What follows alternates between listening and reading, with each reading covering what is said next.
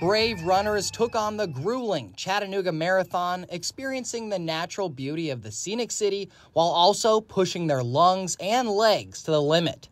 Hundreds of spectators lined the route, keeping their spirits up.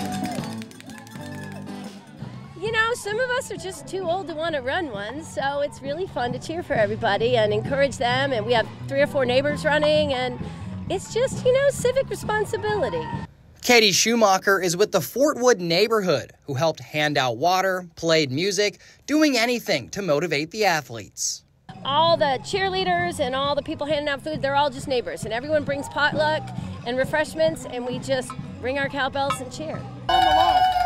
This energetic family came to support the mother of three, Jamie Frederick. She's uh, ditching diaper duty today.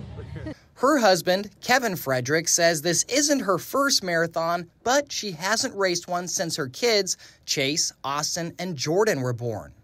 So this is a really big milestone for her and uh, an insane accomplishment that we're really proud of her for. I think she's doing a great job. She's got a lot of energy as she passes us after even running eight miles, so we're very proud of her. I'm sure Jamie's family greeted her at the finish line and let her get back to diaper duty. Congratulations to her and all the competitors from Local 3. Reporting in Chattanooga, I'm Riley Nagel.